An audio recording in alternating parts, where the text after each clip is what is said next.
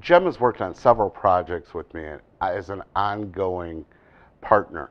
Um, we've looked at energy assessments. We had a energy survey conducted uh, to reducing our energy costs.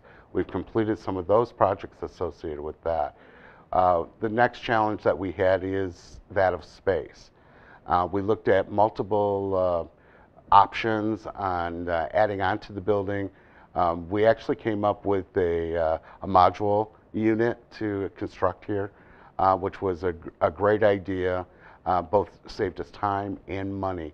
And they continue to be an ongoing partner And um, I'll, I'll, give you an example, is that when we do have a project, uh, we look at all of the options.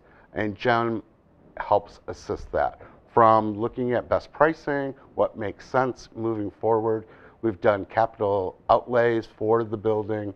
Uh, we've also looked at life expectancy of equipment and seeing what needs to be replaced so it helps in the ongoing planning of the building.